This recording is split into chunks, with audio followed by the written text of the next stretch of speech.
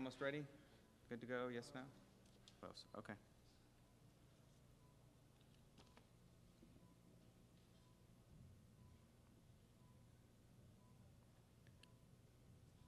Okay, next up we have cyber warfare games. Uh, excuse me, cyber war game tabletop exercises with uh, Gurney Halleck. Please give him a warm welcome. Thank you. Uh, yes, uh, as Riverside said, I am Gurney Halleck, if I know my name right. Uh, and I guess I'm doing a talk on cyber war games, uh, tabletop exercises, TTXs. I'm going to use TTX because it's easier. Uh, I am not pimping my employer, like all the other speakers. And I'm using my hacker handle and not my real name, like none of the other speakers are doing. Anyways. Uh, so who I am I, as if you care. Uh, I've been doing cybersecurity for a while, mostly offensive, uh, aerospace. Uh, so I get to play with a lot of equipment and systems that aren't normally what you would think of as IT equipment. So that's kind of cool. Um, I've been doing uh, red team work. I've been the red team lead for about three years for TTXs. Um, I am a CISSP, so bite me. Um, I collect a lot of useless computers. Uh, I'm starting to call myself a cybersecurity nihilist, in that uh, securing all the things is a noble pursuit, but in the end, it doesn't matter. We're all fucked. So uh, that's that's where I'm coming from, and maybe it's just a jaded because I've been working in this area for too long. So what, a, what is this presentation going to be? So it, it's my ob- observations and experiences doing tabletop exercises. Uh, I'm not going to talk about any specifics from the engagements I've done because I'd like to keep my job. Um, I like Bruce Potter's comment here that he starts out, out with every um, presentation that he does is don't believe anything I say. So this might be a good starting point for you. Uh, if you're interested in doing TTXs for your organization, then you should probably go out and do some more research. Um, I'm going to use the term TTX just because it's easier. Uh, some of my clients are sensitive about using the term war games, so we usually use TTX. Uh, I hate the word cyber. Has no meaning, no meaning at all, um, but I'm stuck with it, so I'll be using it. So a little history for wargaming. Um, probably since people have been able to scratch maps into the sand or dirt, um, we've been doing wargaming. Um, back in the 1800s, uh, the Prussians put together a game called Kriegspiel. Um, it was a war game, uh, actual game, and it uh, provided rules for moving troops and artillery and terrain and so forth. But they actually started using it to train their officers, um, and it proved to be very effective. H.G. Wells actually came up with a game called Little, Little Wars. Uh, again, it was a game, but it had extended rules such that it could be a Kriegspiel. Um, it's interesting because H.G. Wells was a ar- ardent pacifist. We've gone into, of course, modern wargaming. We have, you know, War Games the movie. We do tabletop exercises, um, go to high fidelity computer simulations, and all the way to actual troop, troop deployments and live fire exercises. Um, so, but specifically, obviously, what I'm going to be talking about is the tabletop. So, who, who are doing these tabletop exercises? Uh, a lot of them are emergency, emergency response organizations, state and federal, um, things like FEMA for the hurricane that we just had. Uh, they do uh, tabletop exercises where they play through various scenarios, events, um, situations that they have to deal with deploying or supplying and, and so forth to manage those sorts of disasters. The government is starting to do uh, cyber-based exercises where they are dealing with attack events, how they're going to work through it, uh, do remediation, or, and you know how they're going to deal with these sorts of things. Uh, some companies are doing this as a service, um, and they're starting to be done internally in some commercial organizations. You might not hear a lot about it because they're not really that open about it, but they're starting to do it. So, what is a TTX basically? So, it's a simulation, it's a rehearsal, it's a defense exercise. Uh, for a TTX, as in a tabletop, uh, it's paper, paper based, or it could be electronic based, but it's not a computer simulation in any sense. Uh, you have selected scenarios. You can, can only do so much in a single exercise. Most of the exercises I do are a single day, and I maybe get to do like four scenarios, so four major attack scenarios, and that's not full coverage of a system at all. It's a face-to-face meeting, and that's really important, and the previous speaker mentioned face-to-face. Uh, you get all the engineers, all the developers in together in one room working out problems. And that's a special situation, and you can really see when you're participating in that, can really see the interaction going on and the problem solving going on. Um, it should be a non-threatening, non-adversarial. Um, whenever I have a, a, a engagement, I always bring everyone into the room and tell them, you know, we're not here to embarrass you. We're not here to criticize you or really be adversaries. We're all working together to make the system more secure. And that really sets a tone uh, to make sure that everyone's playing together, everyone's working together with the same objective. So what does a cyber TTX not do?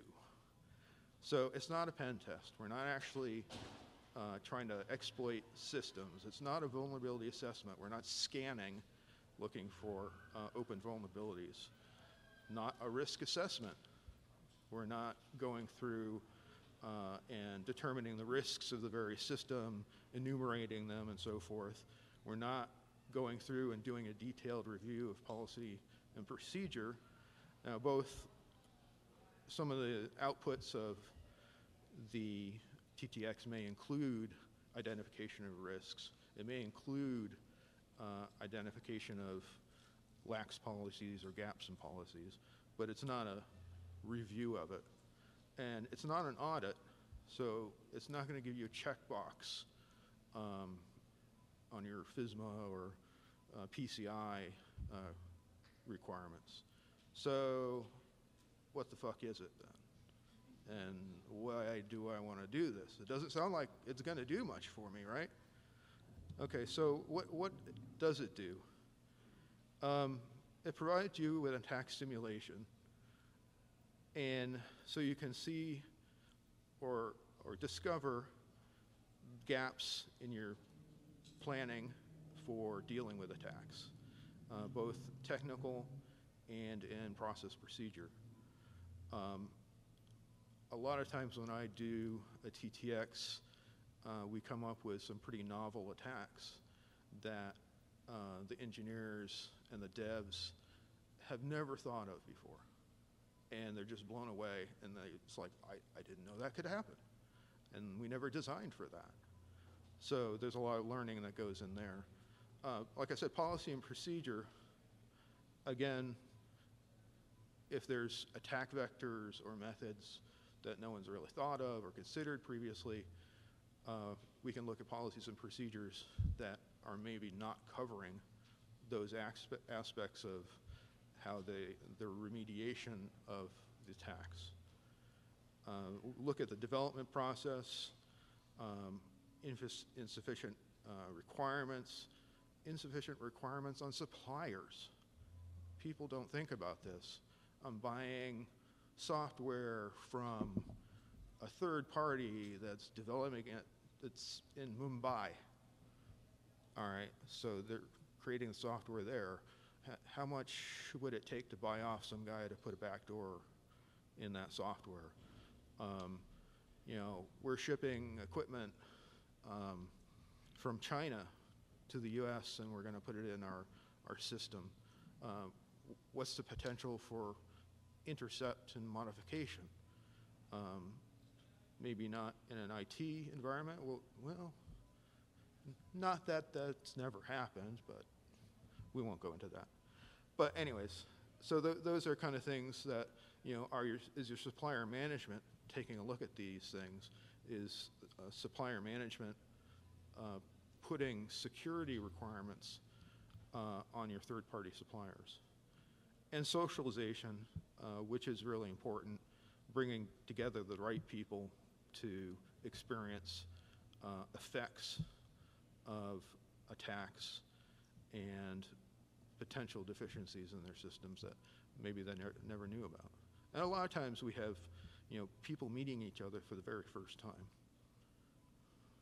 I was supposed to start that timer. Anyways, okay, so when should you do a TTX? Uh, and this is idealized because it never works out this way. But you'd like to do it really early on, even if you don't have a, a well-defined system. It would be great to get uh, a roundtable and do something informal, even just discuss some of the security aspects of the system or aspects that haven't been thought of before. Um, you should ideally be running them through the development process um, so that, you know, before major milestones, before uh, major releases of the product, uh, you're doing a review of the security, not only in um, technical terms, but also in how the policy procedure aspects of it. And you'd also like to do it over the life cycle. Uh, so many times I see uh, deploy and forget type of situations, and the the dev team uh, or whoever's deploying it out in the field, I, they never think that uh, the threat landscape is going to change, and it does. So you really should be doing, bringing the product back in, uh, doing a TTX over again, and then see how you can improve the product uh, that's already out in the field. Um, sometimes there's problems with that because they cost too much to upgrade it, but I mean that's a management decision. There's not a lot you can do. If you don't have clear goals and objectives, or support from your management and the technical staff, you probably shouldn't do it. Uh, I know it's hard to sell it to your management, um, but if they're not going to support it as an engineer, it's just not going to be worth it in the end. Um, oh, I like Rick and Morty and Fallout, so you're going to see some of that crap. Sorry. Um, so who do you want uh, as participants? You want your subject, subject matter ex- experts, SMEs, uh, who are your you know, primary engineers, system owners, people who are really smart on the system, uh, your developers, software developers, hardware developers. Look at your integration and test people because they know how they're testing it or not testing it. Are they testing it for security or not? They're probably not. Uh, get some customer reps so that you know how is this product actually being used in the field. Uh, maybe it's not being used the way you thought it was. Uh, again, procurement and the um, supplier management, uh, security other than the TTX team itself, if you've got IT security that's involved with the product. Uh, your managers, well, we'll talk about managers, and, and other people who might be involved. So as I said previously, you really do want some strong goals and objectives. Um, so you want to try to specify it as best you can. Uh, so we want to take a look at this system or this portion of a system, and we're going to look for specific gaps in security technology. You maybe even go to, down to a specific service, um, and you know what is the uh, response recovery process procedure that we use to handle a- an event, a security event in this system. Um, you need to talk to your management about this so they're aware of it and they get, give you a buy-in. And you need to know what sort of data you're going to collect because if you don't know what you're going to collect, then you can't really write the report that your management is going to want. So we got a number of teams. Uh, you would think normally we have a blue team and a red team, a defender and attacker. Um, the blue team would be the system engineers, the software devs, the network engineers that are going to play their everyday roles, what they would do uh, normally in their day-to-day job. You've got the red team, uh, who are hopefully security experts, um, and a lot of times, especially in my case, I, I'm not an expert in the system we're going to review or we're going to test. So uh, I'm at a disadvantage a lot of times, and I have to spend a lot of time doing my homework to figure out what the system is. And your red team ideally would be independent of any of the development of the product.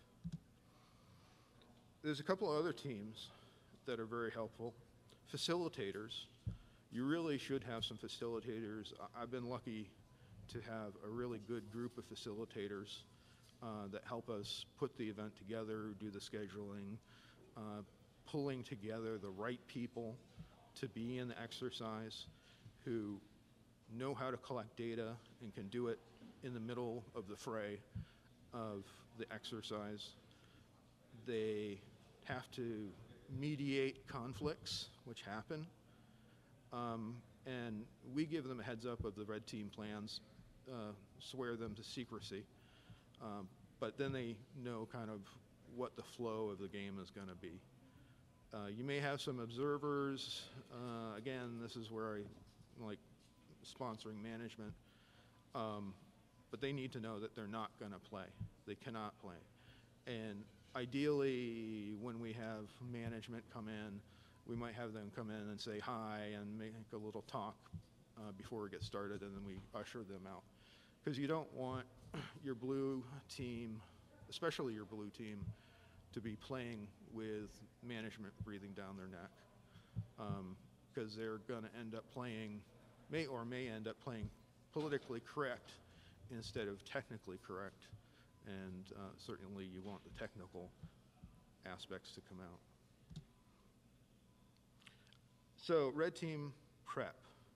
Um, my mantra has always been no magic.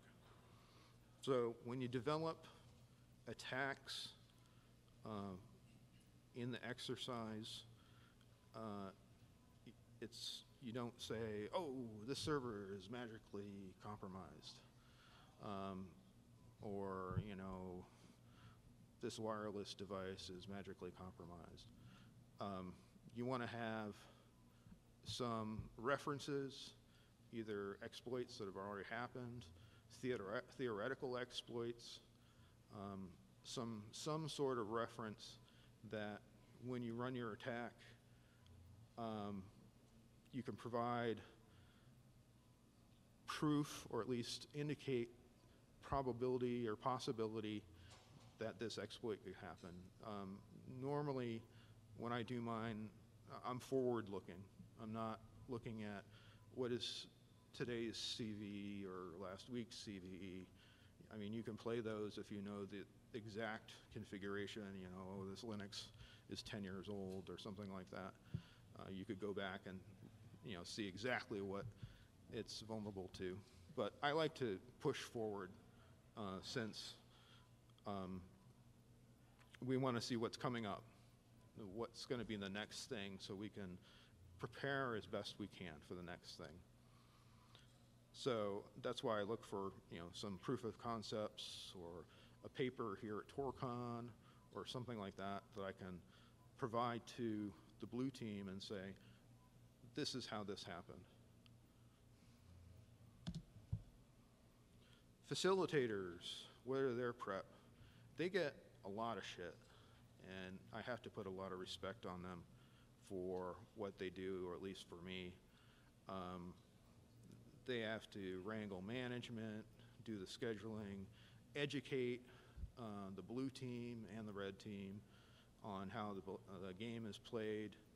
Um, they get to manage uh, disgruntled blue team members uh, who can get very excited and pissed off, and um, infighting between members in the blue team, and so that's there's a lot of management that goes on there. Uh, and the blue team itself, like I said, they're just playing their normal everyday job.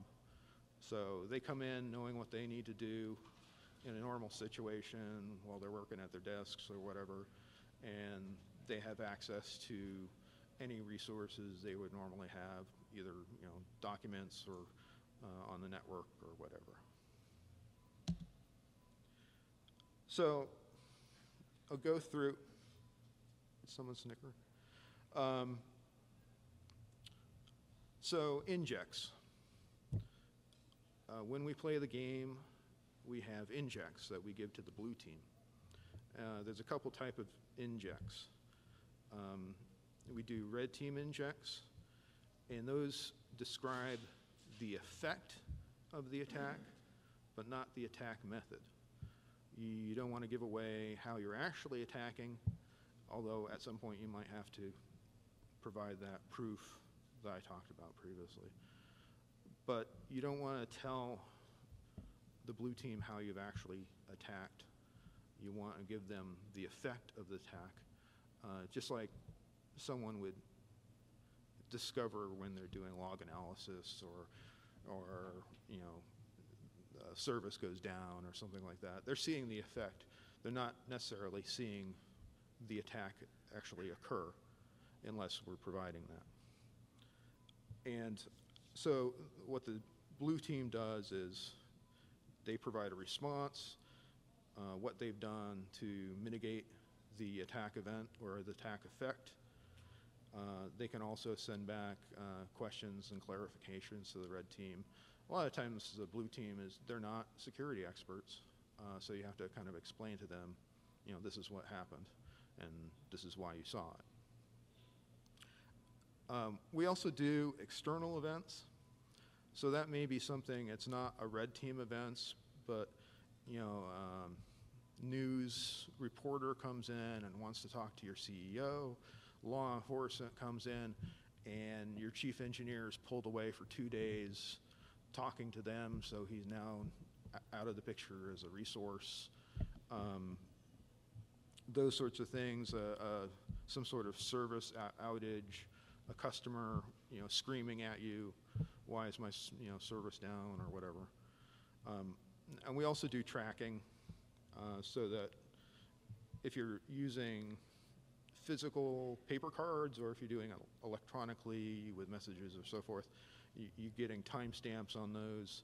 So later on after the TTX, you can rec recreate the flow of what happened and use that for your documentation. So hopefully you can see, see that. So here's kind of just a flow diagram. Uh, you have your uh, these external events and your red team injects going into the blue team.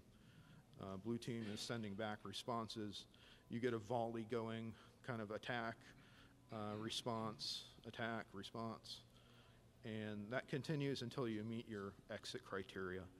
Um, and that could be your goals and objectives have been met. Um, sometimes you've just played out the game, you just don't have any more moves to go. And a lot of times you got time called. Uh, you just haven't been able to get the full gameplay in the amount uh, that you have. Like I said, I'm lucky if I can get four scenarios in in a single day. And depending on how quickly the blue team or how much infighting the blue team is doing, um, you can burn up a lot of time. Question. Yes. Um, social media be an external event? Yes.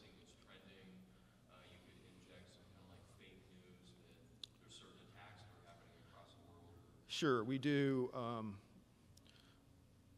so uh, in some of our, well, in a lot of our, our scenarios, you may have uh, an event occurs that is pretty public, and people are tweeting about it or putting Facebook posts on it, and so the news media starts, you know, knocking down your door, or you know your customers find out about it, or your management finds finds out about it.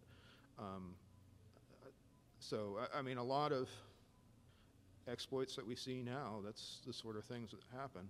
It, it will hit Twitter, um, and the cause of the event may not be fully known or researched, but it's hit the news already. And you get in a situation where, you know, your CEO may not know what to say. You know, we're still researching it, but people want an answer. And that, that's part of your process too. You may need to have, if you come up and say, well, we don't even know how to deal with this in, in the press when something goes wrong, well, maybe you better have a policy about, or a procedure about how you're going to deal with media uh, when something bad happens. So, when a blue team doesn't really know how to play through a scenario, and sometimes they just say, I don't know how to start or do something. How do I deal with this?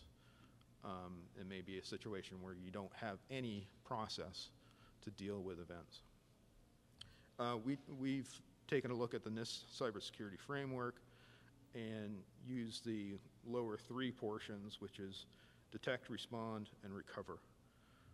So um, at a high level, that's what, what we would tell the blue team to do.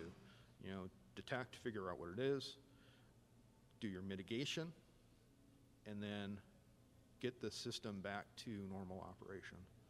So work through that process and go through the discovery of, you know, what your gaps are or what you're lacking. Common issues. So I always get, there's always one person who's going to say, that can't happen. Um, and it's usually someone who owns a system, who's been working the system for 20 years or something like that, and uh, thinks that, you know, this system cannot be hacked because I created it. I have a Plumbus 2000 in it that has a WAF, and you can't hack into it. Oh, well, I, yeah, I don't have WAF filters in the WAF. Uh, but you still can't hack it because it's got a WAF. I, I have the buzzword, so it's secure. Um, so you have to have the facilitators to, again, you well, uh, you go back to no magic, and you can say, okay, you know, here's the attack, and here's the backup, the references, you know, everything to say, you know, this is why it could possibly happen. And then you need to have facilitators to go in and say, you know, we need to play through the scenario. We need to get through it. Uh, don't fight it. You know, after the scenario is done, we can talk about why you think it wouldn't happen. But let's just get through it. Uh, a lot of times, the blue team will go down a rabbit hole. Um, those external events, which may be press or you know uh, another business sector gets hacked with some sort of exploit, um, sometimes the blue team will latch onto that and just beat on that when there's another attack vector that is the main purpose of the scenario. And sometimes you have to go in, the red team actually has to go in and kind of say, well, you know, you guys got to come back. Uh, you're going down the wrong way and you're wasting our time, so you need to go focus on this. Um, internal conflicts. I've had people almost yelling at each other. I've had people bullying each other. Uh, I've had quiet people who have really important things to add to the conversation who are being bowled over and don't get a chance to talk.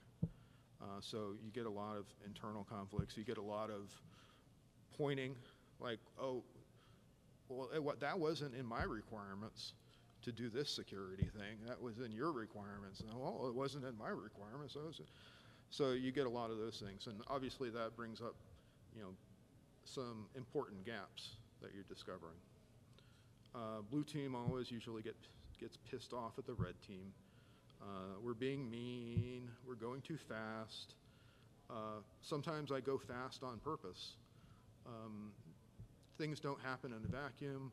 Things don't happen at the pace that you would like them to happen. So I may hit them with three or four events, one right after another, and they're freaking out. And, well, yeah, that shit happens in real life.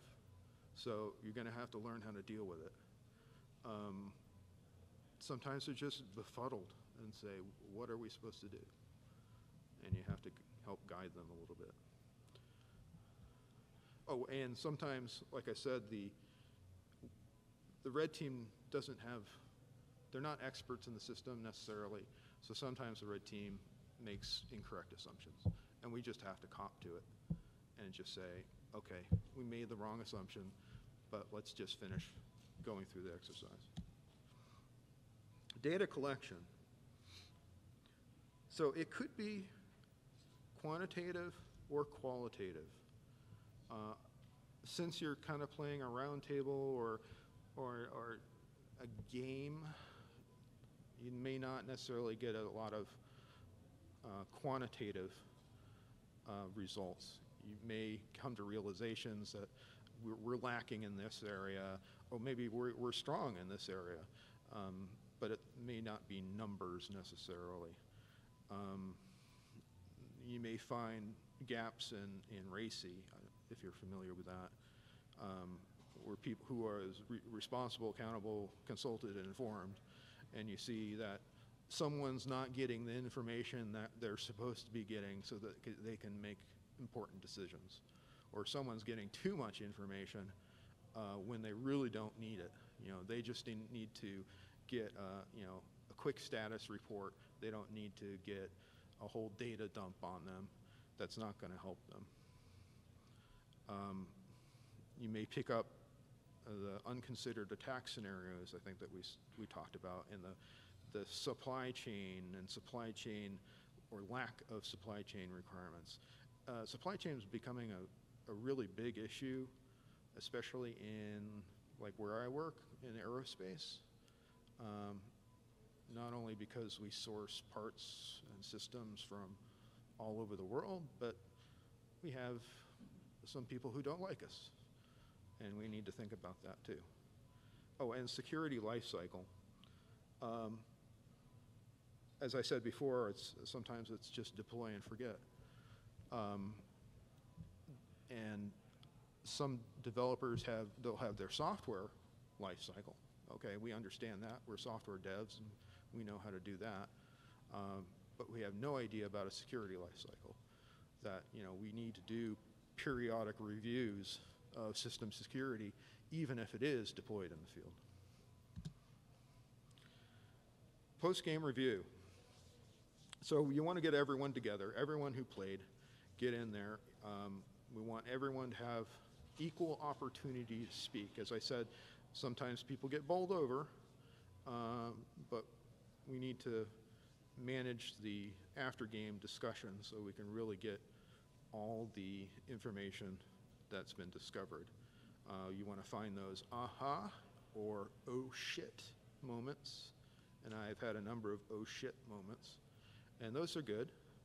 Um, sometimes they're the ahas are we did a really good job in this area, or oh shit, that oh we didn't have any idea about that. Get those improvements, uh, get feedback on the event itself, so that when you do another one, um, you can do it a little bit better.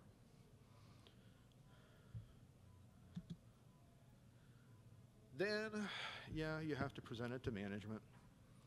Um, you want to give them, if you've ever had to work with management before, probably most of us have, uh, you need to give them some actionable, actionable items. So, you know, you can say, these are the technical gaps in, in our, our defensive systems. Here are technical gaps in our policies and procedures. Um, you know, and then give them, you know, a schedule and plan of action. You know, we're going to work on these and get these fixed and that. Um, you're probably never going to get everything you want, um, but hopefully you can get a buy-in on some of it. Um, it's always, you know, tough to present to management. Um, but if you can give them enough things that they can make, you always give them like two or three options. So, you know, you give them the one you want, and then you give them the one that you don't want, and then you give them something terrible. And then hopefully that guides them to pick the one that you really want. So wrapping it up, um, so yeah, TTXs can be, oh yeah, Pickle Rick. Pickle Rick! Um, so TTXs can be really helpful uh, for your organization or for your products. Um, make sure you have clear goals and objectives. Uh, without that, you know, maybe you're just doing it for fun, but you really need to get some good output from the exercise. Uh, get the right people, and that's tough to do, and that's why I have some really good facilitator people, um, because you want to get a small group of people, but a small group of very expert people. And that's it. If there's any.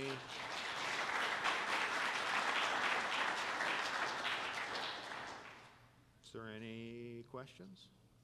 That, that's a guinea pig that likes a carrot, by the way. That's. I haven't met one that doesn't like a carrot. Well, that's my standard answer.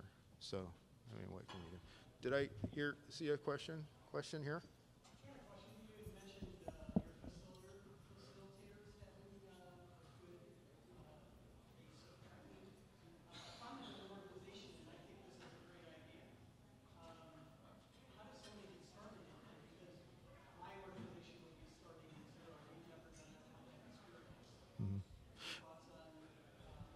Yes. So I guess the question was, how do your facilitators get experience if they're starting from zero? well, one good thing is if they can participate in another one, uh, in, a, in another TTX, um, either with uh, someone, another organization you work with, or a partner, or even with maybe uh, a college uh, or government agency. A lot of colleges are doing these. Uh, so if you can get keyed into that and they can get experience with that. Um, doing some research, obviously. Uh, doing something really small, you know, just with a few people, doing just a round table, just having a couple people. Uh, you know, you don't have the red team off in a closet somewhere, but you have blue team and red team sitting across from each other and just start discussing it. And as you build up that experience, then you can go on to uh, something of a larger, larger scale. Anything down there? Yes.